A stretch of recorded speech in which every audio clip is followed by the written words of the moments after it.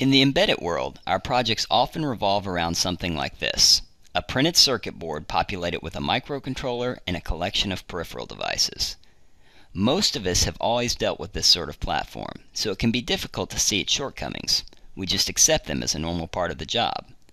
Someone with no experience in embedded systems, though, would likely not need much time at all to identify a major potential drawback of working with such a platform.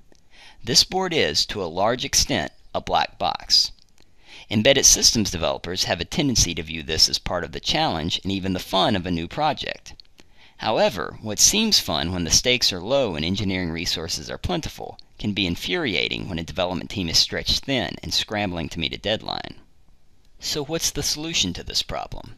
Should this board be redesigned with a keyboard, a graphical display, and a bevy of other human-machine interfaces? Probably not. The problem really doesn't lie with the board itself. Presumably, this board gives developers most, if not all, of the functionality that their end products will incorporate, and does so at a reasonable cost. Expanding the board with bulky, expensive displays and other hardware would be wasteful.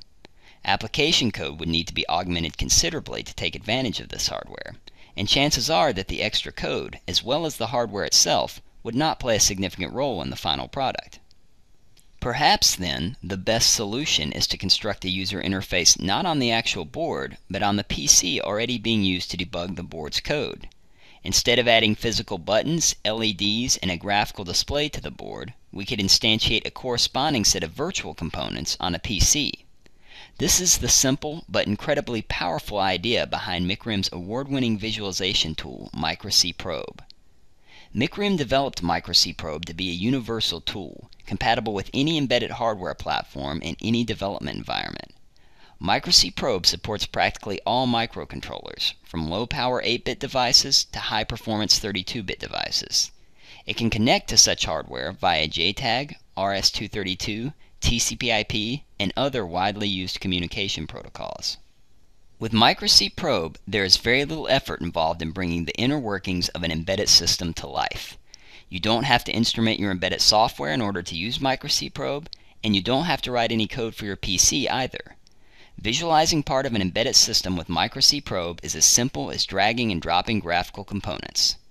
And how do MicroC Probe's components behave after they've been instantiated? Very much like their real life counterparts. They update continuously while the code that they represent runs. In other words, MicroC Probe, unlike a conventional debugger, does not require you to halt your embedded system in order to view the status of your code. Although its singular capabilities lend themselves well to debugging, MicroC Probe is not strictly a debugging tool. It is also especially useful in the initial phases of a project as a means of creating professional quality demos and even prototypes of a final product's user interface. After product deployment, there are additional uses for MicroC Probe, as an aid in troubleshooting otherwise inscrutable devices. In general, MicroC Probe gives you the ability to see inside running embedded systems, and this ability is an asset in practically every project throughout the development cycle.